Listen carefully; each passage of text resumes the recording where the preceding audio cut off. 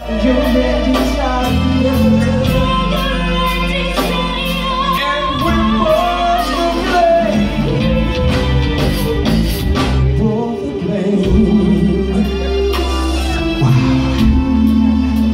y'all feel that? I felt it too. And you know? I guess I think we both said just a little bit too much today. with somebody. I'm tired living with somebody.